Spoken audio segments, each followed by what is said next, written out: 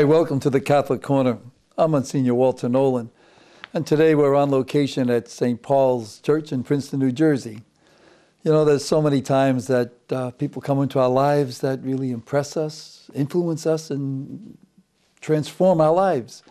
Today we're so, so blessed to have a wonderful, wonderful man, priest, human, wonderful person who's going to be with us and talk to us about some male spirituality and maybe some other topics. It's Father Richard Rohr. Father Richard's a Franciscan priest of the New Mexico province. He founded the Jerusalem community in Cincinnati in 1971 and the Center for Action and Contemplation in Albuquerque, New Mexico in 1986, where he presently serves as uh, founding director. Father Richard, many of you know from his books or uh, talks and things that he does, uh, CDs, DVDs. I know in the year of St. Paul that we had a little while back and we did some programs on, I took a lot of his work and a lot of his uh, uh readings and his, his uh, DVDs and kind of influenced my own spirituality, my own life. So we're very, very happy today to have Father Richard Rohr, and he'll spend some time with us on one of his latest books on the threshold of transformation, Daily Meditations for Men. Father Richard, God bless you. Thanks for coming with us today. I know you're a busy, busy man and a wonderful man, and uh, uh, it was a delight to have you in our parish recently, you know, and you gave some talks for us, and I know places around New Jersey. So, um, could I just ask you just a little bit to kind of get us going here? The Center for Action and Contemplation out in Albuquerque, which is a marvelous, marvelous place. Yeah, we're lucky to be there. Uh, I founded the center 24 years ago as a place to give people who are working for social change some kind of in depth spirituality so they could do this work, but do it from a good place, a positive place. And we've been going 24 years. Uh, we run conferences and internships and little publication and uh, it's a good place to be and it's a good work to do. Yeah, thank you. You're welcome. You're welcome. And, and certainly uh, New Mexico is, a, is, yeah. a, is, a, place of God. When you go there, you just kind of can feel His presence in so many different ways. It's really true. I know you have so many, uh, you know, just from knowing you so well, so many thoughts, topics, you know, of your own spirituality and how you, you share that with so many people. But I thought it'd be nice, you know, uh, uh for our own maleness and for a lot of the men uh, you know, we, we sometimes, I think, uh, forget that there's a distinctiveness to, to our own uh, blessings and gifts of God. And that wonderful work of yours on the threshold of transformation. Um, can you tell us a little bit, uh, you know, why did you write it? Uh, what's it for? And uh, what do you hope to get out of it? Well, to be honest, I didn't write it. Two wonderful men looked through my 20 some years of CDs and talks and conferences and books on the subject of male spirituality and they were kind enough, at great cost to themselves, to read all this stuff. And they put together what they thought were my 300 some best uh, little statements. And uh, they gave it the title, too, On the Threshold of Transformation. You know, people think the author uh, chooses the title. Usually we don't. Someone else who can get some distance and some overview, they'll often see something that you yourself can't see. So they thought that more often than not, in these 366 meditations, I was talking about how people change, how grace works, how, how God grows us up. So they gave it that title. And I, I hope it achieves some of that purpose. Well, the title itself kind of draws you in, I think. Uh, uh, I, I, don't know if we're resistant to change, I, and I'm talking from a male viewpoint. Sometimes it's kind of like, oh, well, we, we got it, you know. And uh, I know a few times in my life, I even think back when I was younger and thought, you know, oh boy, you know, do I really have it now? I don't. And then to look back and say, oh my God, you know.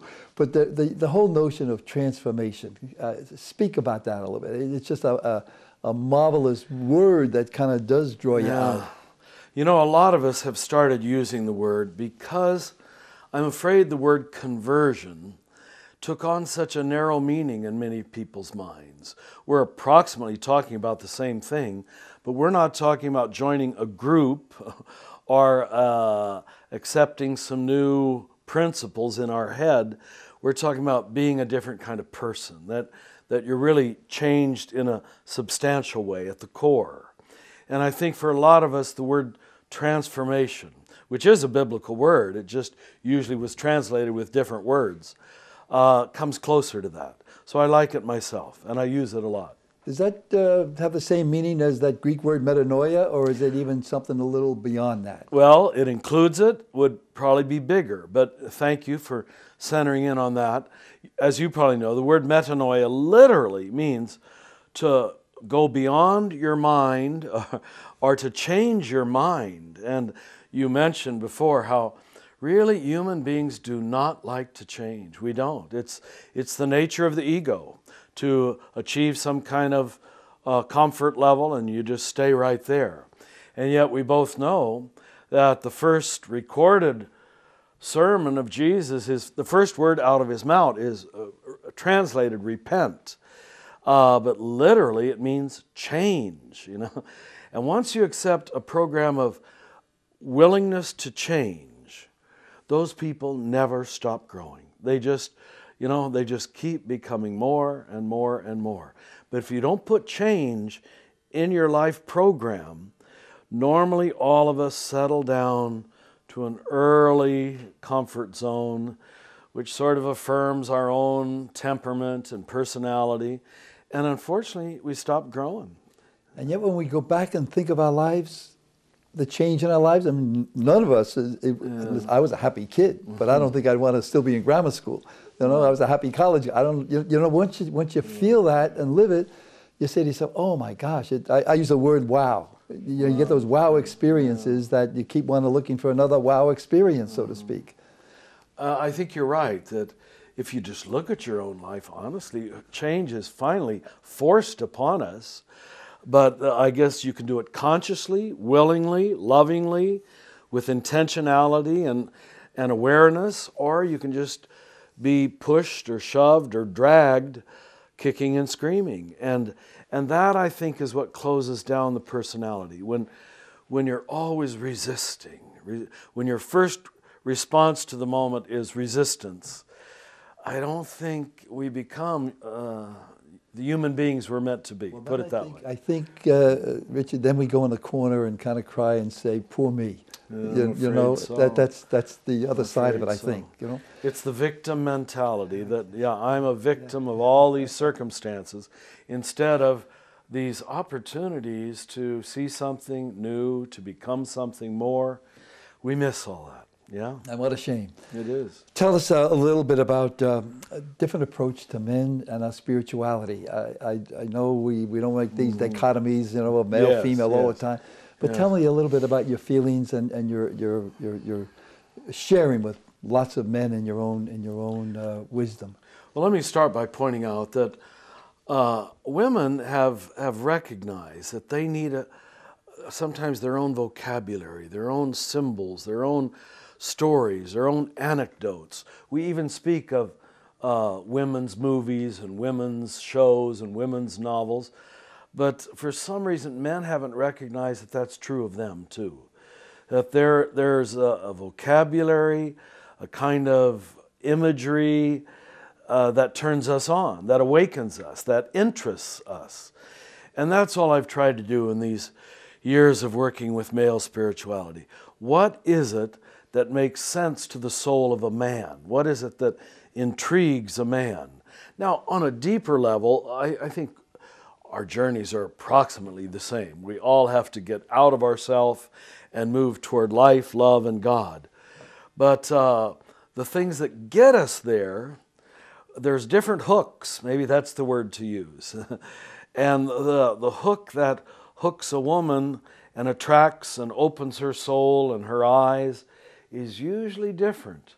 In a way, what I've found in, in our men's rites of passage, these uh, male initiation rites we've given in a number of countries now, uh, if it's a little more raw and honest, and not that women's aren't honest, but it's almost got to be brutal and hard hitting and clear and clean uh, for men to take it seriously.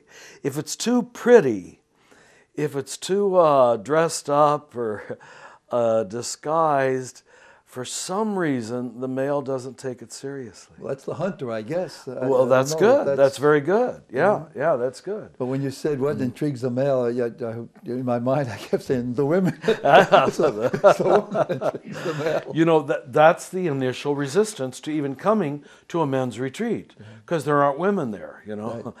But uh, the amazing thing is when they get over their initial resistance again, they recognize there's a whole level of feeling, of relating, of connecting that is possible in this setting that's new and that's good. If you can get beyond the usual, you know, superficial level of conversation, which which we all know we men fall into, sort of talking about sports and the weather and nothing of consequence. But if you can get them a little deeper, there's a kind of safety we've found. Uh, not that men feel unsafe with women, but a different kind of safety that men feel with other men, just as women feel with other women. Same thing. Uh, you know, I, I, my experience mostly is where I grew up and, and those things, but yet I can understand how, you know, you're almost taught as a young boy, growing into manhood, that you don't express your feelings, you know, don't cry, and don't, and you say to yourself, you know, "Wh- why, why can't we express that in, in, a, in a beautiful way, and, and uh, uh, which I think, which is transforming, and it is, it is fine to be able to say that we can have a gentleness, and just look at the Christ. There I we mean, go. there's, Yeah. there's, Thank there's, you. there's nobody Yeah. more gentle. Tell me, uh, uh, how do you how do you help? How do these meditations help men to kind of navigate their path, navigate their their compass, so to speak? Well, uh, the nice thing about meditations is, first of all, they're short.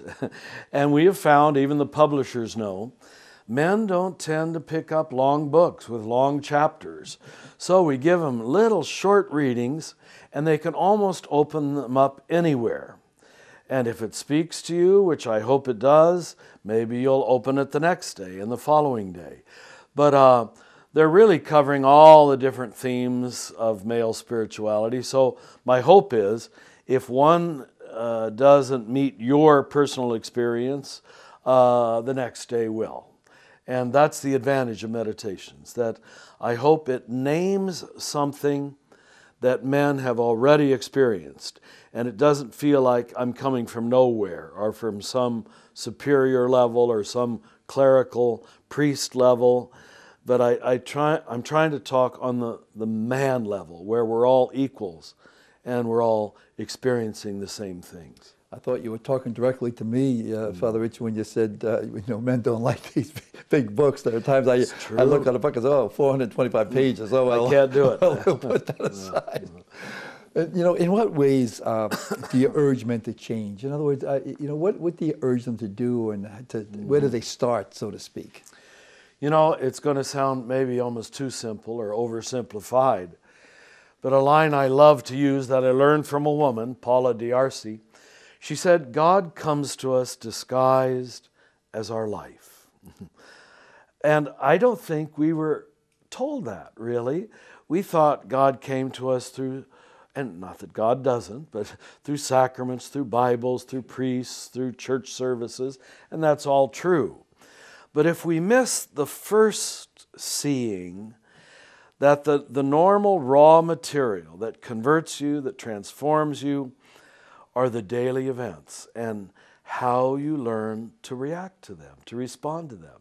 And as you know, they almost always demand that we readjust, recalibrate ourselves. Why is that turning me off? Why is that making me afraid? And you mentioned that we men aren't sometimes as good at assessing our feelings or expressing our feelings. And that's very true that a lot of men don't even know they're afraid or don't know they're angry. They just give the knee jerk reaction. Excuse me. So, what you've got to help them do is experience their own experiences, experience their own body and their own feelings in a deeper way so they start to know what's really happening. I, I noticed one time in the uh, uh, talking about sport pages where some of the men, including myself, you, you gravitate to sometimes. There was a poem uh, by a coach. Uh, it wasn't by him, but he, he read it to his players.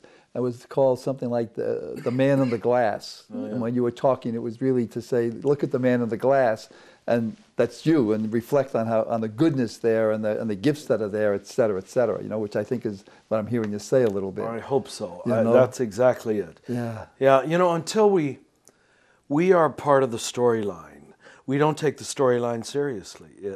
If you uh, even talk about Jesus, God, it's an interesting external reflection, but somehow when you know that your very identity, your very experience is caught up with the mystery of God, that you're a part of whatever is happening and your part matters, then we're all invested. I We're once all- said, I once said to some folks, uh, "What's the greatest gift God ever gave you?" And they all looked at me, and I said, "I think the greatest gift God ever gave you is you." Wow, You know, lovely. and that's uh, Yeah. that's. Uh, tell me, um, in in, uh, in the forward of your book, Mm-hmm. uh, Joe uh, Durepos writes uh, that these meditations should not be looked at as daily devotional, but as daily confrontational. I love that. Wasn't that clever on his part? Yeah. Joe is one of the two men who spent a whole year researching all my material, and he came up with that beautiful introduction to the book. And uh, I thought that was clever of him to say that a lot of them probably aren't soft passages. Uh, they, they push you a little or they ask a bit of you. And that goes along with what I was saying at the beginning that I think men respect things if they're a little more hard, a little more clear, clean, confrontational with some truth, not in an angry way, not in a pushy way, but just the, the self evident nature of truth. So I hope they are confronts as much as uh, devotions. See, uh, we men understand that uh, no pain, no gain, so to speak. You know that, uh, that there's got to be some some some sweat given and some some thought given and some some time given.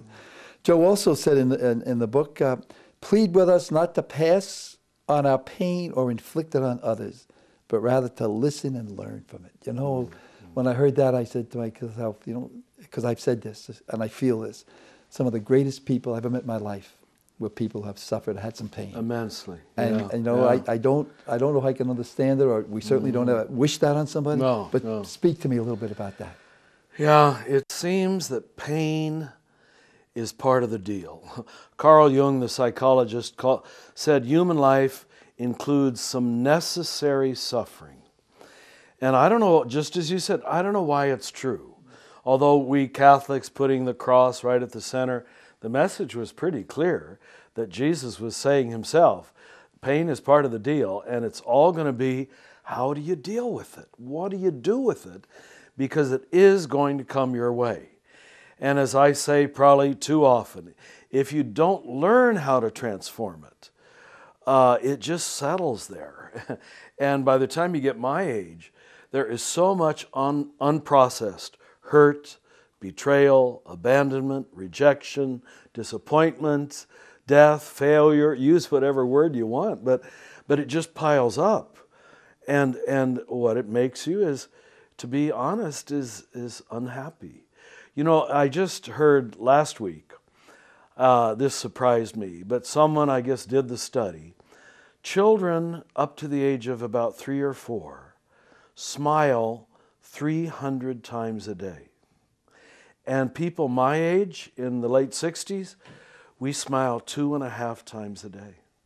Now there it is. That, you smile well, well, and a half times a well, you do too. But what what has happened? You know, between the little three-year-old kid, which is why we're attracted to him, this little grin on their face, I guess, puts a grin on our face. But what happens between three and sixty-five that that we smile less and less? Life becomes a grim paying of debts and repaying debts and counting the cost and counting the hurts. I guess in our faith, we just don't always look for resurrection, do we? Th- that's it's, it. It's up there somewhere, yeah. and it's okay for him. But or it's later. It's all pushed off till right. later. Yeah. I just heard a little story that, that you reminded me of. Uh, a, a, a dad said to me when when the, he took his little son, about three, four years mm. old, to a to a basketball game, and, and the, the team I guess they're rooting for were losing. And at halftime, the little boy said, "Daddy, I'm okay up here. I'm I'm safe. You could go down and help them win." Oh wow! You know, that's that's yeah. that that's that smile, that's that joy, and, uh, or taking the pain and saying, you know, we can we can make this better. Uh-huh, yeah. You know, tell me, uh, uh, uh, one of the, one of the statements in your book, for centuries, males have been encouraged and rewarded for living an outer life of performances, which are usually framed in terms of win or lose. In such a world view, and I just even mentioned it myself. Uh, are there are there only winners and losers and no in betweens, or can you speak about that? You know, win win or You know, the win lose scenario, uh, which is the, the way our civilization is built. I mean, it, it's really the, the kingdom of this world. It's all win lose at every level. That's what capitalism means. Uh, that's what sports means. That's what job means. That's what school means. And the male imbibes that very early, and he likes it for some strange reason. It, it lets him know where he stands. But unfortunately, when you frame reality that way, and I'm convinced, when Jesus talks about the kingdom of God, he's saying there's a different way of framing reality that is win win. Right? But it, when you've framed your whole life in terms of win lose, the sad thing is most people lose. uh, just take the American Idol phenomenon, which finally at the end, there's one person standing there.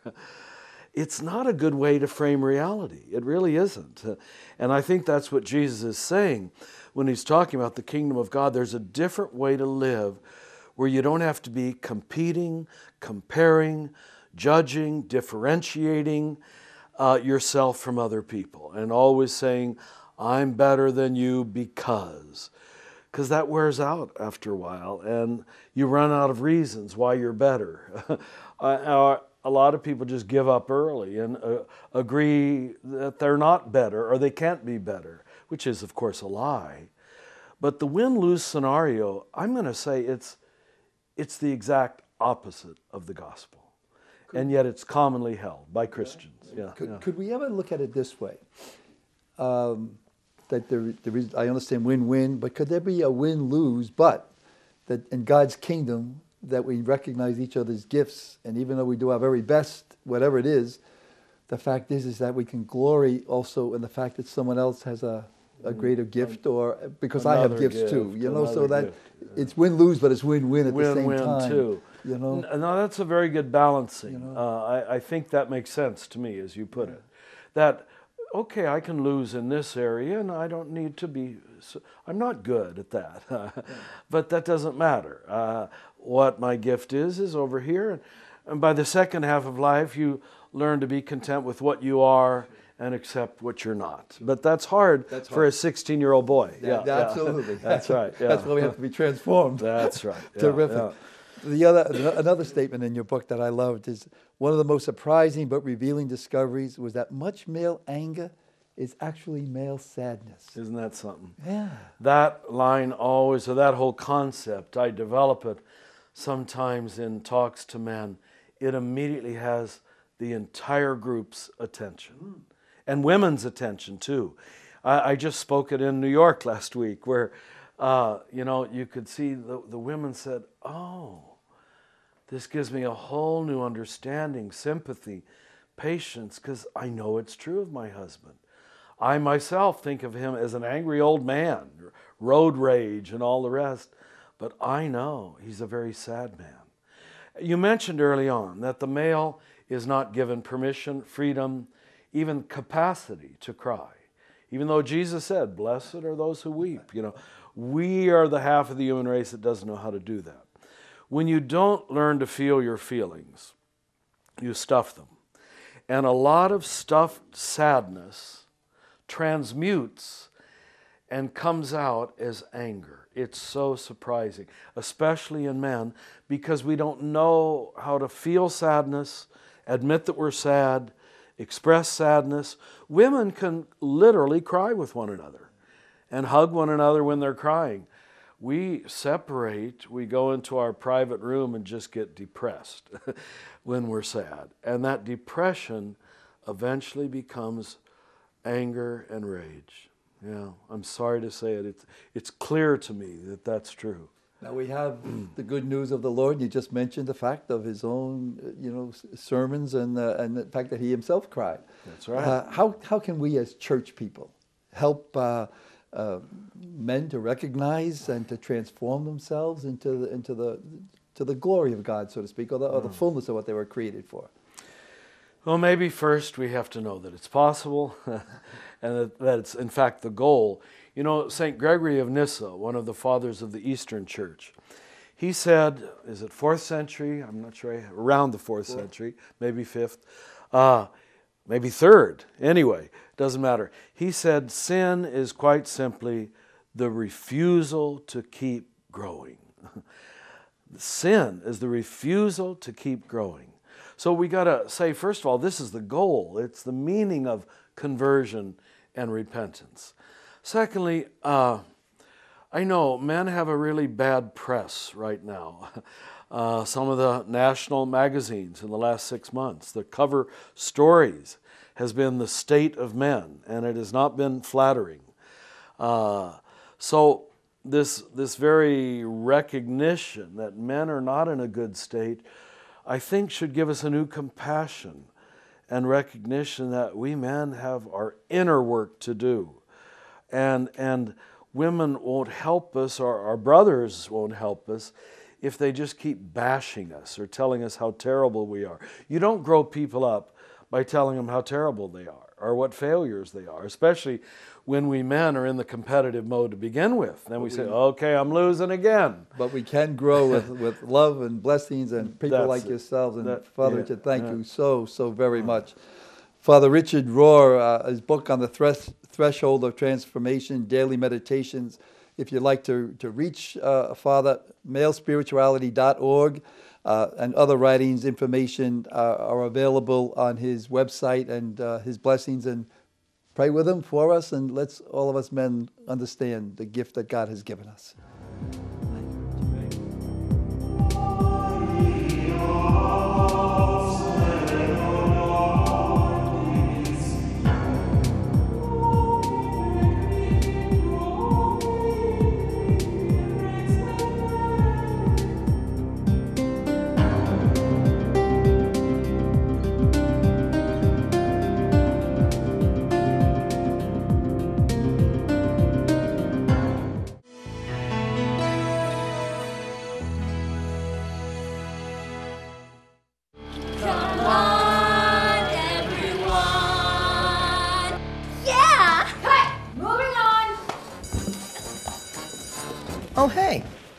In this business, it's easy to feel like the low man on the totem pole. Thanks, son. But I'll let you in on a secret. I'm working on my own movie. Coming through. Yeah, that's right. Just in time for this year's Reimage Film Festival. A celebration of faith inspired short films, sponsored by the Catholic Diocese of Trenton. First prize was $500. And there's still time for you to enter your short film. For more information, go to reimagefilmfestival.com. Reimage Film Festival. See you there. All right, everybody, let's dance.